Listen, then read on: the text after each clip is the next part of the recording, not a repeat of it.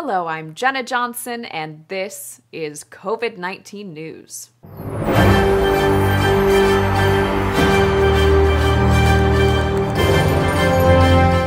According to the World Health Organization, the U.S. now has over 9.5 million cases of COVID 19 and over 233,000 deaths attributed to the virus.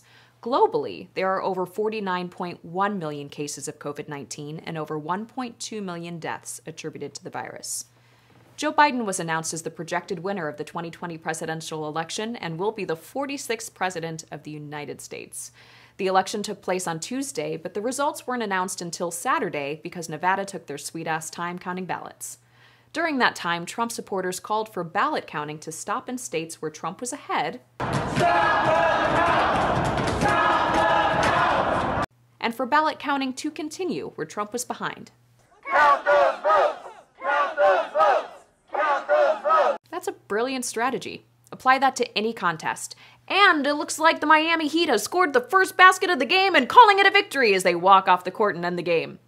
And at the same time, and it looks like the Miami Heat has lost by 25 points, and as the other team walks off the court, the Heat keeps playing, taking the lead in the fifth quarter. Quite the winning strategy. Trump even declared victory Tuesday night while ballots were still being counted. This is a fraud on the American public. This is an embarrassment to our country. We were getting ready to win this election. Frankly, we did win this election. That's like buying a lottery scratch ticket, only scratching off half, then taking it to the lottery commission and saying, Give me my money. And they're like, You have to keep scratching it to see if you won. And you're like, I don't have to scratch off the rest because, frankly, I won. I already planned the celebration. Biden won Wisconsin by a slim margin, but the final results gave Biden a large enough lead that he was above 0.5%. Under that amount, an automatic recount is automatically triggered for free. Above that amount, a recount requires the challenging campaign to pay for the recount, and most importantly, they must pay in advance. Trump has never paid for anything in advance, so there went Wisconsin. In order to inform the American public what he plans to do about his impending loss, Trump tweeted Lawyers press conference at Four Seasons, Philadelphia, 11 a.m. When you hear Four Seasons, you think hotel, right? Well, in this case, it was, and I'm not making this up, a gardening company called Four Seasons Total Landscaping, the one located right next to an adult bookstore. Who, who is in charge of events booking? Where do you want to make our big announcement, Mr. President? Uh, somewhere big, somewhere nice. So, one of your hotels then? Hold on, let me check. Hey, Melania, do we have conference rooms available? Don't tell me to fuck off. You fuck off. Hey, Eric, do we have space for a press conference? No? Tell you what, let's do it at the Four Seasons. You got it, boss. 20 minutes later. I don't know why he fired me, because technically, it is the Four Seasons. Trump was forced to clarify. Big press conference today in Philadelphia at Four Seasons Total Landscaping, 11:30 a.m. It's nice he moved the time 30 minutes later to accommodate those who went to the Four Seasons Hotel. That means all the camera crews waiting at the hotel had to pack up their things and head to a parking lot on the industrial side of town. This would be like telling your spouse that for your birthday you want to go to Paris and they book tickets to Paris, Texas. Technically, it is Paris. Or if you say, I love you, son, while sitting next to Donald Jr., but you actually mean the sun in the sky. Either way, embarrassing mix ups that you won't be able to live down and hurt feelings that'll need time to heal.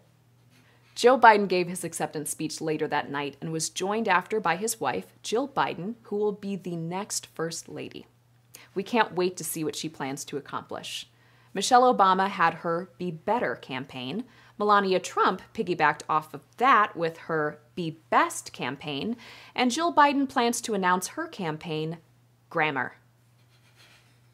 CNN news anchor Van Jones gave a vulnerable, heartfelt speech in response to Joe Biden's victory.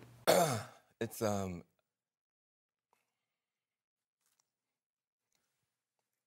well it's easier to be a parent this morning it's easier to be a dad it's easier it's easier to tell your kids character matters it matters telling the truth matters being a good person matters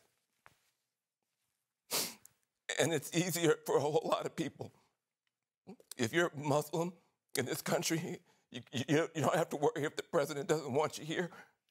If you're an immigrant, you don't have to worry if the president's going to be happier to have babies snatched away or send, send dreamers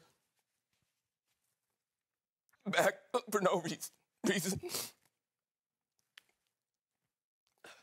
It's vindication for a lot of people. For further analysis, we turn to Chris Mata, who is just three credits shy from a childhood development degree at Trump University. Chris? Thank you, Jenna. And those credits were electives. What's your takeaway, Chris? Because not only are you almost educated, you're also a father. When I watched Van Jones say what he said, I knew what he was trying to say. But come on, Trump being voted out of office doesn't make it easier to be a parent. What, Trump is out of office and now my kid cleans his room, doesn't talk back, and has good grades? Mm. I don't think so. I think you're missing the point. What I got from Van's speech was that he wants the highest office to exemplify the values he teaches his kids that goodness and kindness matter and are essential. That he feels relief that after four years of his family and communities witnessing increased racially motivated violence, that this next president will condemn it. That as a black man, he feels safer this morning. That his family is safer this morning that he gets to tell his kids that America refused to continue on a path of hate and instead chose love and acceptance. Um, I see. You see, that makes sense. But uh, I'm a weekend dad, so. You don't think Trump being voted out of office makes it easier for you to be a dad? Well, now that I think about it, when I took my son to the border town of Jacumba, California, to witness the building of the border wall there, we were stopped by Border Patrol on a hike and he referred to my son as an alien. My kid thought the agent was joking because to my 14 year old, alien means outer space. He had no idea that some Americans called people from other countries aliens. It made no sense to him. My kid asked me, why would we call other humans aliens? And my answer to him was, because it's easier to put an alien in a cage and send them somewhere else than it is to do it hmm. to a human. Van Jones, I feel you, man. Thank you for sharing that story with us, Chris. Thank you, Jenna. In other news, the presidential election wasn't the only big election happening. Mitch McConnell, the Senate Majority Leader, was also in a race for re election. And like his guns and his support from and for the NRA, Mitch McConnell held onto his Senate seat with his cold, dead hands. And last but certainly not least, Kamala Harris made history by becoming the first woman and woman of color to be voted into the White House. And her husband, Douglas Emhoff, also made history by becoming the country's first second gentleman. What a lucky man. Because from now on, for him, it's easier to be a parent this morning. It's easier to be a dad. I'm Jenna Johnson, and this is COVID 19 News. Thanks for watching.